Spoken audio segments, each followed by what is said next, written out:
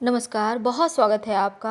आप देख रहे हैं गृहण धम सन्मार अमावस्या की तिथि के दिन तुलसी के पत्र और बिल्व पत्र बिल्कुल भी नहीं तोड़नी चाहिए, ये तो आपको पता ही है। और इस दिन पूरे घर की कम से कम मकड़ी के जाले तो इस दिन अच्छे से सफ़ाई करना चाहिए, ताकि किस्मत का साथ आपको मिलता रहे।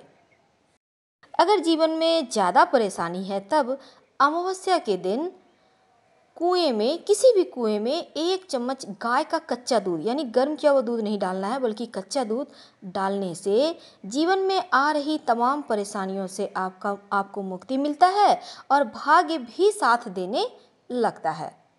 वैसे तो अमावस्या की तिथि को शनि, राहु, केतु संबंधी दोषों की मुक्ति के लिए पूजा पाठ किए जाते हैं, पितृ दोष दूर करने के लिए किए जाते हैं और पीपल के वृक्ष के नीचे सरसों के तेल का दिया जलाने से पितृदेव प्रसन्न होते हैं।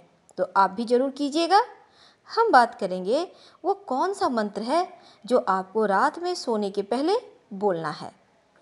दोस्तों, कृष्ण पक्ष की अंतिम तिथि होती है अमावस्या तिथि और इस दिन आकाश में चंद्रमा न दिखने के साथ ही सारा आकाश अंधेरे से ढका रहता है और ज्योतिष और तांत्रिक शास्त्र में।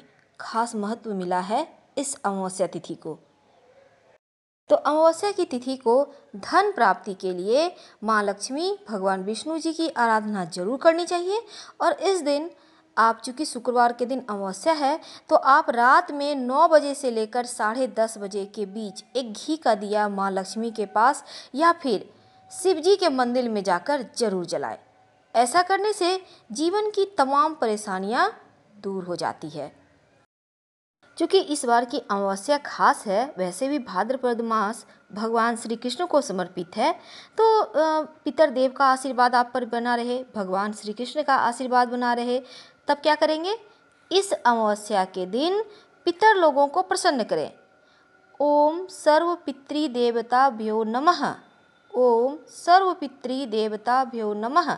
इस मंत्र का जप कीजिएगा, आपको धन की कमी कभी नहीं होगी।